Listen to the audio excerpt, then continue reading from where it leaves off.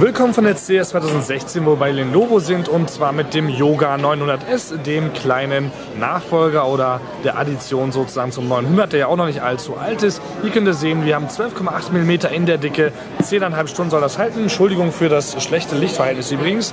Ähm, und auf 12,5 Zoll haben wir hier eine Auflösung von 2560 x 1440, also natürlich ein hochauflösendes Display. Das Gerät ist nicht nur dünn, sondern auch leicht. Ich kann euch jetzt nicht genau sagen, wie leicht, aber es wiegt auf keinen Fall ein Kilo Kilogramm. Aber ihr habt auch hier wieder die Möglichkeit, wie immer bei den Yogas, das Ganze hier 360 Grad einmal umzuklappen. Das finde ich immer wieder super. Schauen wir uns die Anschlüsse an. Wir haben einmal den Alarm hier am USB 3 Stecker dran.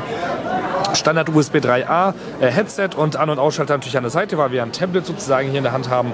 Auf der, der Seite ist gar nichts und auf dieser Seite haben wir einen weiteren vollwertigen USB-Stecker, der aber auch der Stromstecker ist gleichzeitig und einen Type-C-Konnektor auch, über den wir auch laden können und weitere viele Dinge anschließen können und natürlich ein kleiner Reset-Knopf auch noch mit dabei und ja, Vorne natürlich nichts. An der Unterseite ähm, können wir ein bisschen Schrauben machen und rumspielen, wenn wir mit SSD oder so uns auskennen, damit wir das upgraden. Ähm, aber die Farbe zum Beispiel auch sehr schön hier von Lenovo ausgesucht, so ein bronziges äh, Design und auch die Tastatur ist schick, wobei mir die weißen Tasten, die zwar leuchten, nicht ganz so gut gefallen, weil wenn äh, viel Licht drauf fällt, dann sehe ich nicht, ähm, wo welche Taste ist, aber mit dem richtigen Lichtanfall kann man die auch noch ganz gut erkennen. Multitrackpad fühlt sich auch gut an, beziehungsweise das Lederinnere finde ich auch immer super.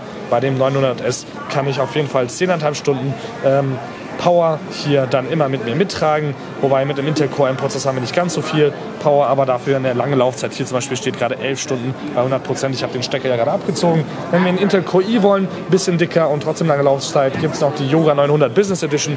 Dazu dann mehr in einem anderen Video. Dafür einfach meinen YouTube-Channel abonnieren oder mal ein bisschen rumschauen, was es hier so alles in Las Vegas auf der CS so gab. Denn ich habe ein paar hundert Videos hier für euch gedreht ähm, in diesem Stil. Also wenn ihr zuschaut habt, mein Name ist Balaschgal. Das war hier das brandneue Lenovo Yoga 900S in einem ganz kurzen ersten äh, Eindrucksvideo aus Las Vegas.